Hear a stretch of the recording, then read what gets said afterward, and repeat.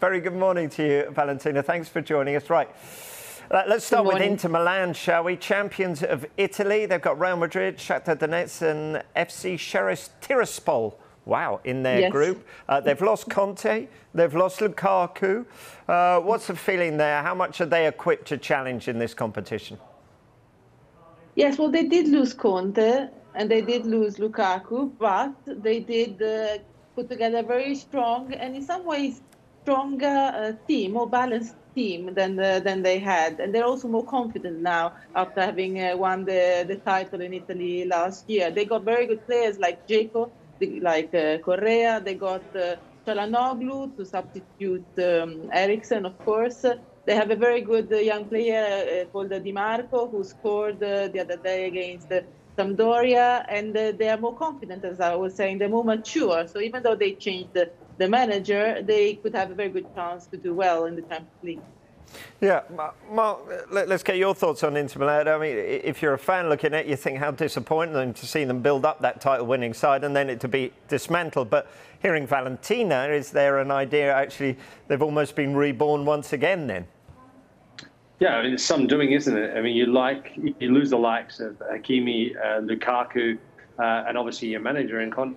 I mean, that's that's a, a, a pretty big rebuild, and I think uh, you know the, the, the bar has been very raised very very high, particularly the way they performed last season, and and I think um, just goes to show the strength in depth, the ability, uh, the name of Inter Milan to be able to bring in top quality players as replacements. So uh, they're a side that have had a rich history in European football as well. So it's going to be uh, an inter- interesting group again.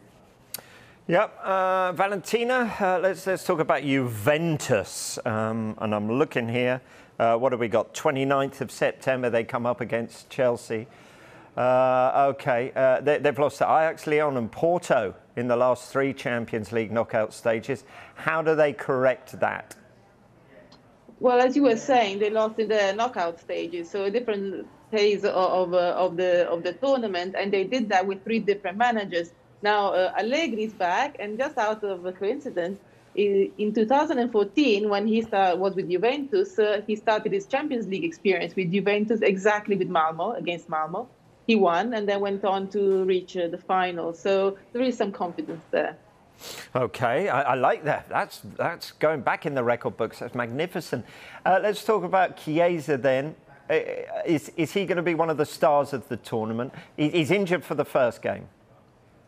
Yes, unfortunately, he's injured uh, for the first game, but he is a true star now in Italy. He became a true star after uh, his performance uh, at the at the Euros.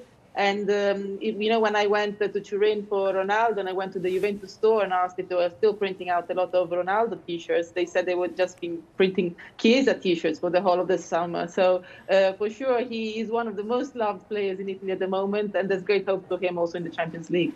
Yeah, Mark uh, Cristiano Ronaldo uh, unable to deliver the Champions League uh, to Juventus, wasn't he? Um, but uh, is, is there a sense that this Juventus team, perhaps uh, Europe should be wary of them?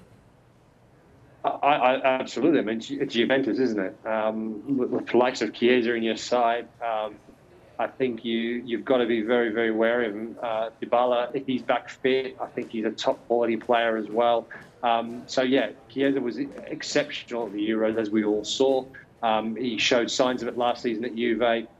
Are they going to be a better side without Cristiano Ronaldo? Some people would say they possibly will be. There'll be a more togetherness and, and, and a less reliant on one individual. So I think uh, it, it's a, it's a, obviously a different era, um, a different side, and they haven't started that well in, in, in Serie A. Um, but the Champions League is the Champions League, and they, they need to do well in it. Yeah, those head-to-head games against Chelsea could be pivotal in this one. Let's turn to AC Milan then, Valentina, back in the Champions League for the first time, would you believe, since 2014? Well, you would believe it because you know it. Uh, what can we expect from them? It's Liverpool first up. Well, there's a lot of history between uh, Liverpool and AC Milan, and uh, for sure the AC Milan supporters remember that very well. Terrible loss in the final 2005. They win in 2007 in Athens. And um, today on the papers, there was an interesting interview from uh, Ricardo Kaká, one of the main uh, players of the team uh, in 2007. And he said that he believes that AC Milan is now stronger than Liverpool in many ways because it has a good mixture of experience, players, and young players, and uh, that is the feeling too. They're very hungry uh, to win. They're very hungry to get back into the Champions League and do well. Yeah, and Valentina, Atalanta in with Manchester United, Young Boys and Villarreal too. They made the knockout stages of the last two Champions League. What can we expect from them? Same again? Well, the Atalanta has been doing very well the past few years. They're a very compact team. They're, they're a young team. They will probably expect them to do well. And this match, this first day, match day, is lived by many uh, already as the deciding match to decide who will be uh, number two in the in the group uh, in the group because also Manchester United, of course, will, will do its best to win.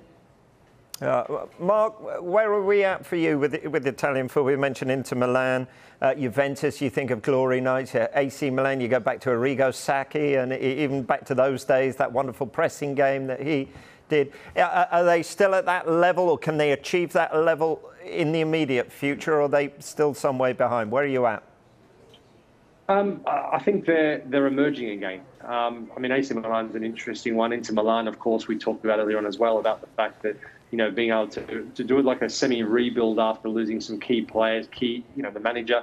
Um, Juve is the one that for me is still a little bit of a concern. You know, uh, losing Ronaldo is always going to be tough, but Chiesa, Dybala, will they be good enough to, to lift uh, a Juve side? Um, will they get to the heights they did a couple of years ago? I don't think they're quite at that level as yet. Okay, sadly we've run out of time. Valentina, grazie. Uh, Mark, ab- absolutely wonderful to have uh, your company for the last couple of hours.